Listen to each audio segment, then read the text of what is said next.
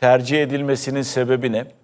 O soruyu sorayım. Neden abluka altına alınmaya çalışılıyor? Daha haberler devam edecek. Az sonra zaten bunun üstüne de konuşuruz. Ama bakın burada savcıların bir kere tarafsız ve bağımsız bir yargının olmadığını bu ülkede biliyoruz. Net bir şekilde. Bunu eğer muhalifseniz iliklerinize kadar hissediyorsunuz. Erdoğan uçakta söylediği bir söz var. Bunların hesabının sorulması gerekir. Bir talimatın, bir telkinin, bir niyetin ortaya konulması. Ve bunu tabii ki görev adleden savcı ve hakimler var. Belki bir Adalet Bakanı'ndan bile gitmiş olabilir. Ülkede demokrasi yok ki. Demokrasi kandırmacası var ve muhalif olan her bir kişi yani e, bir kez savcının karşısına çıkacaktır. O korkuyu tattırmak istiyorlar ama onlar bizden daha fazla korkuyor. Neden? Çünkü onların iktidarı kaybetme korkusu var. Tüm bu ablukanın sebebi de o. Abluka dediğimiz kelime, şöyle bir girin bakın Google'da ne olduğuna, iki ülkenin savaş halinde uygulamış olduğu savaş terimi, abluka. Ve şu anda işte belediyelerin belediye başkanlarını abluk altına almaya çalışıyorlar. Partileri abluk altına almaya çalışıyorlar. Bir şekilde sindirmeye çalışıyorlar. Amaç ne biliyor musunuz?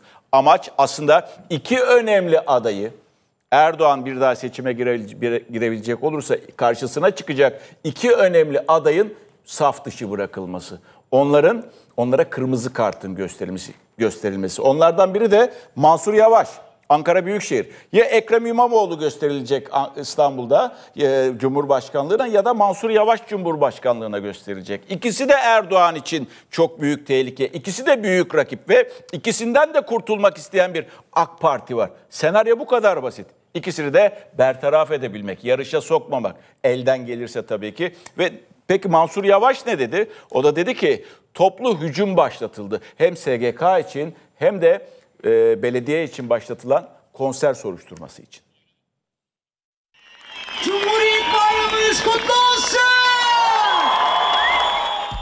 Varsa bir kusuru olan, hatası olan cezasını çekecektir. Mansur Yavaş kalem kalem Ankara Büyükşehir Belediyesi'nin düzenlediği konserlerin maliyetini açıkladı. Ankara Cumhuriyet Başsavcılığından inceleme adımı geldi. Bu iddiaları açıklayanlardan da asla özür falan da beklemiyoruz. Hodri meydan diyorum. 11 Kasım'da açıklama yaptığı gün İçişleri Bakanlığı tarafından iki mülkiye müfettişinin görevlendirildiğini söyledi Yavaş. Yeni bir durumun olmadığını ekledi sözlerine. Hesap verebilirlikte bizim üstümüze kimse yoktur. Aynı davranışı tüm kamu ve belediyelerden de bekliyoruz dedi. İçişleri Bakanlığı'na, Adalet Bakanlığı'na, Çalışma Bakanlığı'na gidin CHP'li belediyelerde bir suç bulun. Bulamıyorsanız da bir suç uydurun talimatı verildiğini biliyoruz. Birine yolluyor musunuz müfettiş? Bakın 800 milyon liraya Kültür Yolu Festivali. Bakanlığın Ankara Büyükşehir Belediyesi'ne inceleme başlatıldığı açıklaması yapılırken bu kez meclisten bütçe görüşmelerinde konuşan Çalışma Bakanı Vedat Işıkhan'dan geldi çıkış. SGK borçlarını en çok ödemeyen belediyeler CHP'li dedi. Haciz işlemi başlattıklarını söyledi. Toplu bir hücum başlatıldığı anlaşılmaktadır ifadeleriyle Yavaş'tan Bakan Işıkhan'a yanıt geldi. Mansur Yavaş borcun bir kısmının ödendiğini, kalan tutar için de yasal sürecin devam ettiğini hatırlattı. Bu belediyeler AKP'de haciz gönderdiniz belediyelerden kaldı. Ankara Belediyesi de Ferit Gökçek'ten kaldı. CHP'li belediyelere inceleme meclisteki bütçe görüşmelerinde de tansiyonu yükseltti. Milli Eğitim Bakanı Yusuf Tekin'in konserler üzerinden kullandığı ifadeler gerilimi tırmandırdı. Sayın Bakan çocuklara dağıtamadığımız kumanyayı getirdik. İsterseniz Sayın Bakan öyle, bu öğrencilerimize günlük verebilecek konsere harcadıkları paraları getirsin. Devlet olarak yapamıyorsunuz. Devlet olarak yapamıyorsunuz. Utanmadan laf atıyorsun. Ankara'yı soğucunun soğana çevirdiniz. Konsere biraz genel kültürün nasıl biraz... Gerçekten büyük bir yüzle dalga geçiyor ya Milli Eğitim Bakanı. Konsere harcadığınız paraları diyor getirin. Ya çocukların gıdasını kestiniz siz ya. Ya 800 milyon dolar, 800 milyon dolar dinozorlara harcadınız ya. Ya okulları temizleyemediniz ya. Okulları temizleyemediniz. KKM ile dünya kadar paralarımızı çarçur ettiniz. 128 milyar dolar diye bir paramız gitti. Ya bilmediğimiz tarikatlarla zararlı olanların hepsiyle protokol yaptınız. Zafer Havalimanı diye bir havalimanı yaptınız. Para çarçur edildi. Say say bitmez. Bak hemen bir 5-6 tane saydım. Bu kadar yüz olabilir ya.